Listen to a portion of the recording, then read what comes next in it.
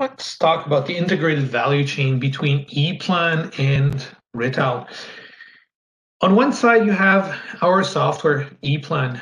In ePlan, if you create a project, here, very easy. I'm going to create a project using Cogineer. So technically, I'm starting the whole thing with a macro.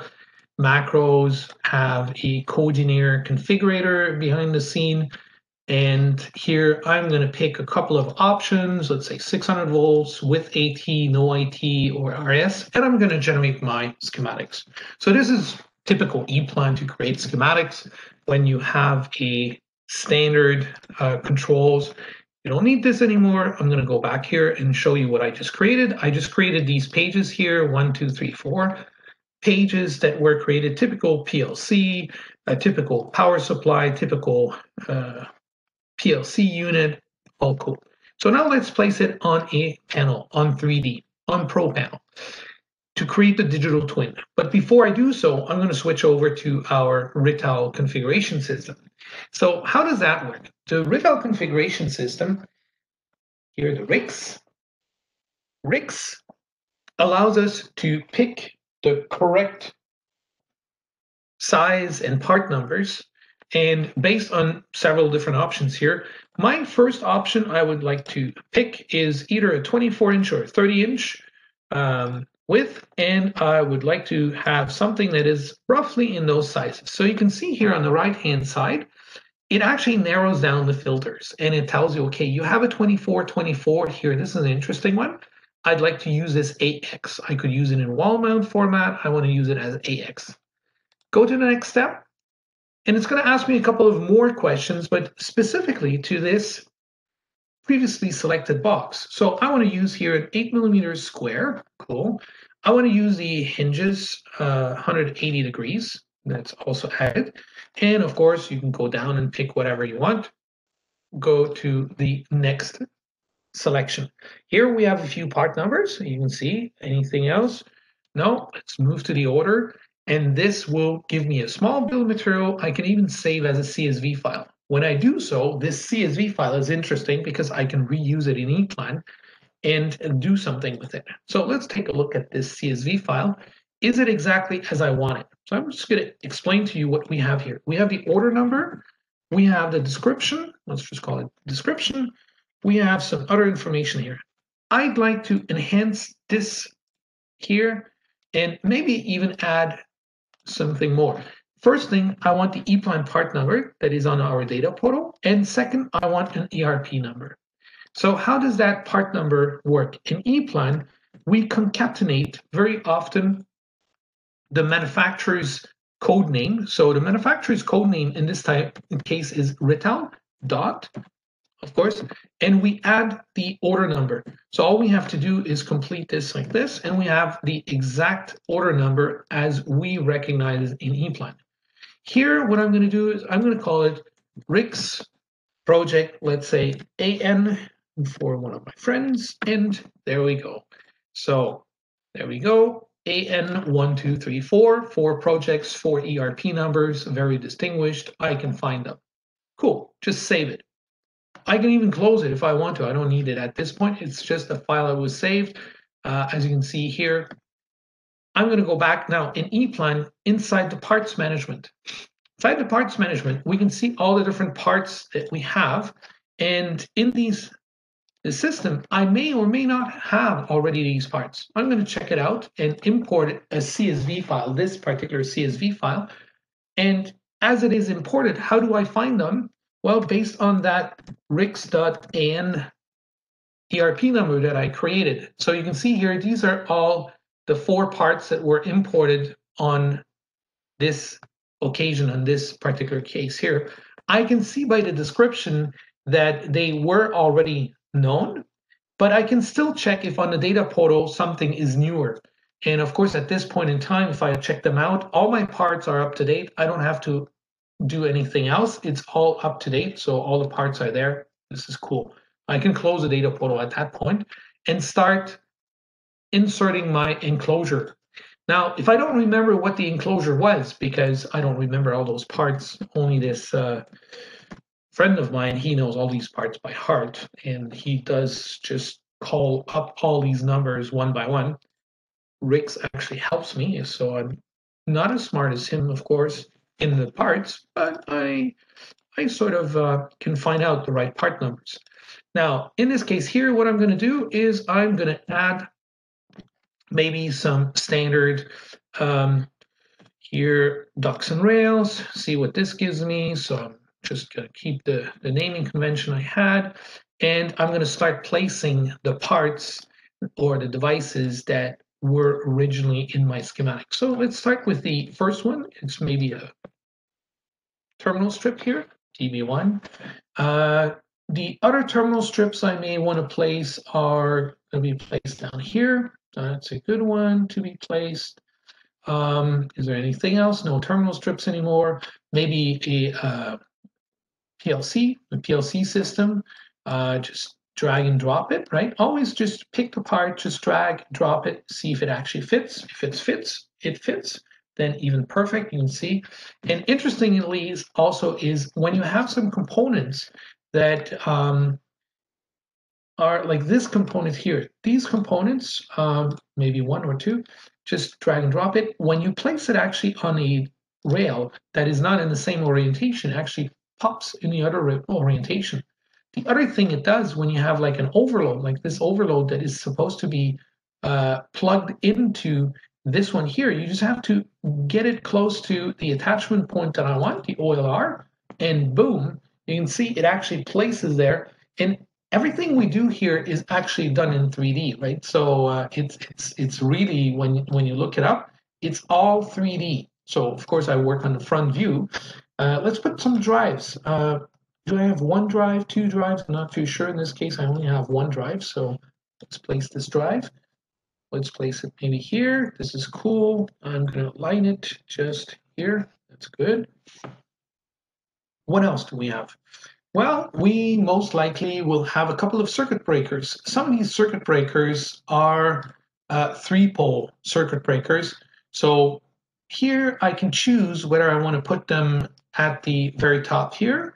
There is some room, but let's see if it actually fits. I'm not sure. I might be a little bit squeezed, so I might be better off if I place it here.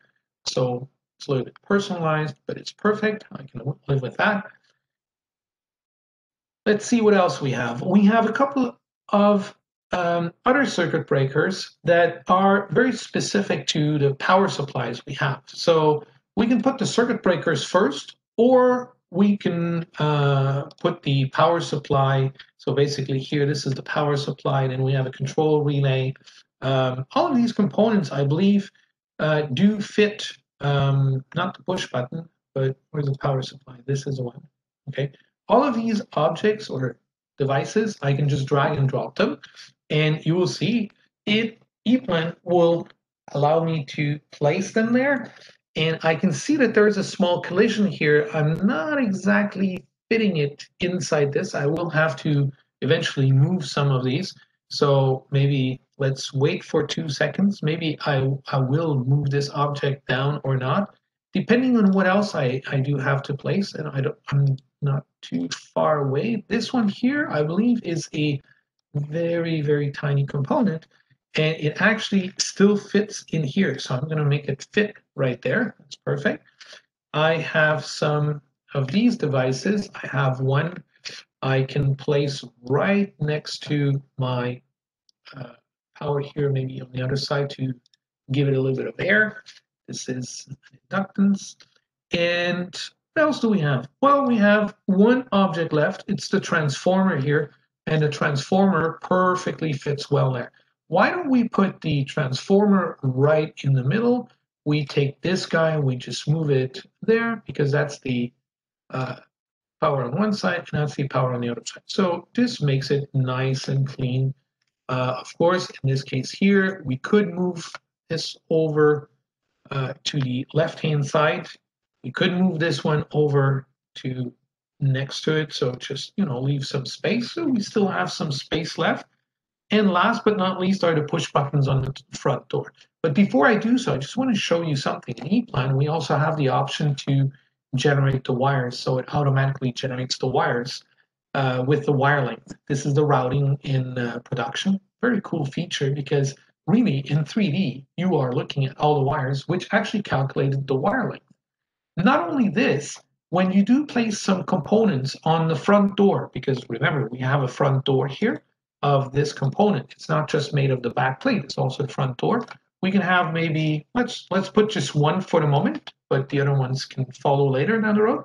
When I'm placing these objects, right, on the front door, I usually do not see what's behind.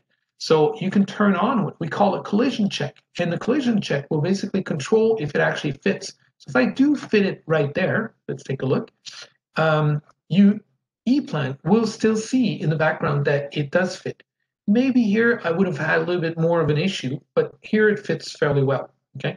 So this being said, this actually creates also for ePlan all the information about the drilling view, view and, and that's all part of what came with the system. And that's even cooler because now I can generate all my fabrication reports. Now, when I say fabrication reports, I always think about the whole integrated value chain. So more precisely, what do I have to do when I fabricate a panel? I have to pick the parts in the kitting phase. I have to cut all my ducts and rails. I have to pre-drill the back plate, the front door. I have to assemble my terminals. Once this is done, I have to install the terminals and the devices, also putting some labels on these devices and the terminals. The labeling is to be done. Then I can actually concentrate on the wires, wire fabrication and wire landing. And at the end of the day, of course, there's a little bit of testing and logistics to be done. So how can I organize my data or my reports? I have nothing to do. It's already pre-arranged in ePlan. I just run here the summarized reports and bingo, you get everything generated. What it generates is a kitting list for the step number one. I call it efficient engineering 01, which is EE01. So I have a small document specifically for the kitting guide. Then I have other documents for EE02, which is the mechanical uh, cutting of ducts and rails. So you imagine yourself going down to the grinder and grind these ducts and rails in the right length. And of course, for every other step in this loop here, I have a specific document. Here, for instance, is my kitting document. So I can see a picture, I can see the device tags, I have everything there. I have my labels ready, right? And the labels can actually be even better than this. I can take this project and dump it over to the Phoenix Contact complete project. And here I can get my wires, my cables, and everything in one single step. So what that does, it creates pretty much all the labels for me, and I don't have to do anything. And, and all the labels are exactly the labels that actually come out of my system. Not one extra label, not one label missing. It's all exactly just right compared to what is in my project. The wires are there, the devices are there, and the cables are there, all in one single stroke. There's no reason when you use ePlan not to do so. You can see here, these are all the wires. And I even added the source and target on those wires. This is nice.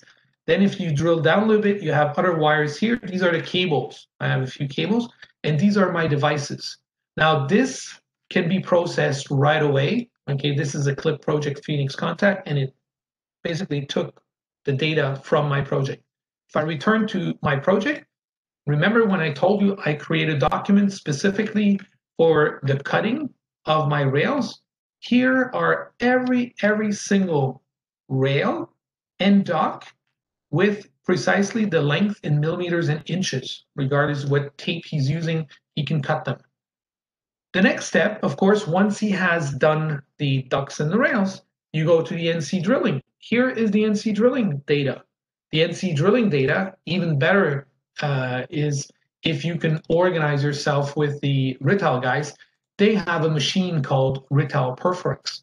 The Rittal Perforex will automatically require the door and the back plate, and it will actually drill it right away. Okay, so this is the mod center that you can uh, use from Rittal uh, systems. Another thing that we have is the wire. The wire now has a specific length to a certain degree, and I can pre-cut it. Now, if I can pre-cut it, I can save a lot of time cutting, crimping, and putting the labels on. Why? Because there is a wire fabrication wire terminal from Rittal that can do it. Okay, here you go. So really, if you want to be efficient, consider this, consider ePlan, consider importing from the RICS, which will give you the correct part numbers, and you will ensure save some time and have the per perfect digital twin created out of this. This was Roland from ePlan. I hope this was some interesting video again. Thanks.